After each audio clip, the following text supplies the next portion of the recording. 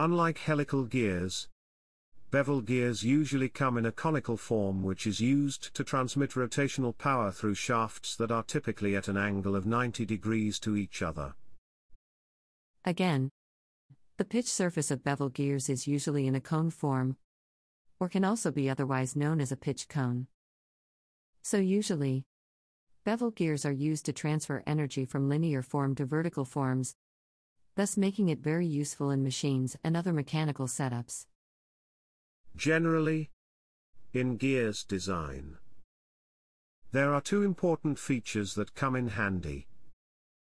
These features are the pitch surface and the pitch angle. The pitch surface of a gear is the imaginary toothless surface that averages out the peaks and valleys of the individual teeth. While on the other hand, the combination of the peaks and the valleys of the teeth form what we know as the pitch angles. And it is on that note that bevel gears are categorized into different forms, which are helical bevel gears, hypoid gears, straight bevel gears, and spiral bevel gears. Helical bevel gears can be a combination of the right and left handed helix. And these type of gears is known to be handy when transferring motion between axes that intersect on the same plane.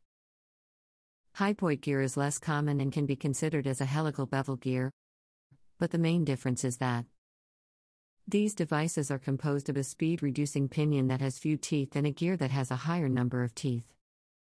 Straight bevel gears are usually placed on bevel surfaces, and this is thanks to their milled outer surface. Another type is spiral bevel gear. Spiral bevel gears are gears that usually operate at a very steep and varying plane. The way these gears are meshed together set them apart. That is because the pinion's teeth are wider than those of the main gear. This makes it easier for them to transfer very high torques without wear. This is because of the pinion's teeth that mesh with the various teeth of the main gear. Overall, bevel gears are used in a wide variety of applications which ranges from the mining sector to the aerospace sector, and etc.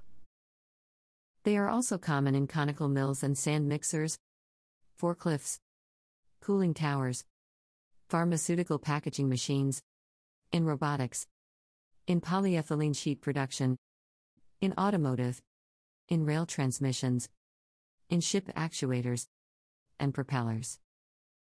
Finally, in food processing industries. Bevel gears play a major role in the packaging and processing of food, and in canning manufacturing equipment.